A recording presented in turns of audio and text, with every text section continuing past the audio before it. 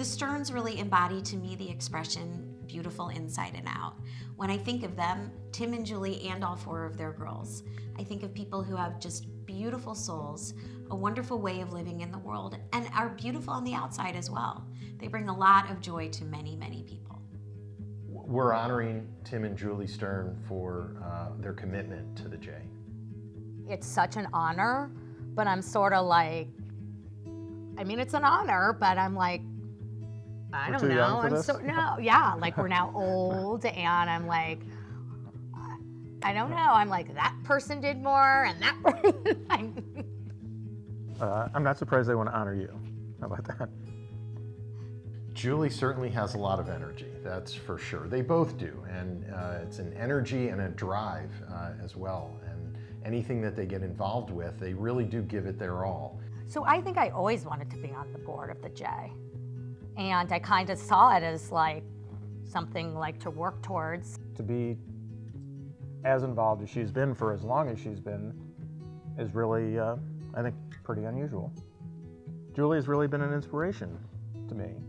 She's taught me the importance of getting involved in the community and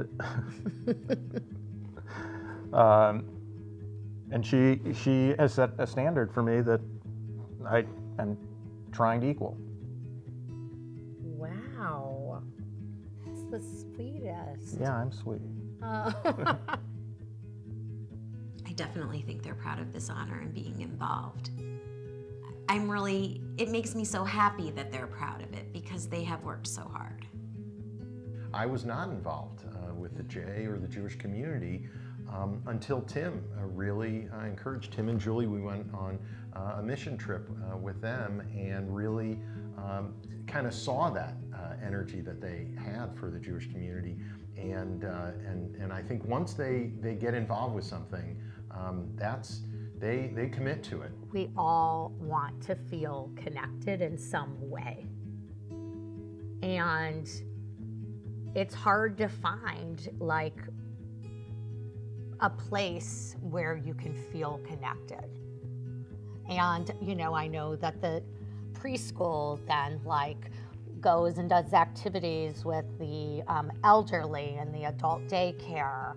Those that are doing the in program, they are also interconnected um, at the J. And I just think that people want to feel connected. And I think the J is a place they can do that. You never know when you're going to need something like that. And I think they've helped build something that's there for all of us. You know, I spent a- most of my time at the J in the um, in the workout area, uh, but it is, to Julie's point, it's a great place for uh, for everyone to get together. And you know, I imagine that when I get older and, you know, like my kids are gone and let's say in another 15 years, that it's like, I'm just going to want to go to the J just to be there. And, you know, We'll drop you off.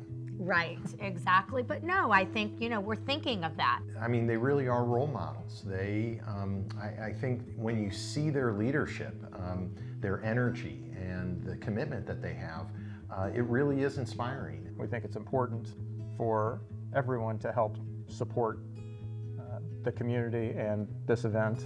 from kids actually being able to go to the um, the day camps or Sabra or the daycare or the preschool, and the J provides the funds for for families who are in need or needs just need just a little.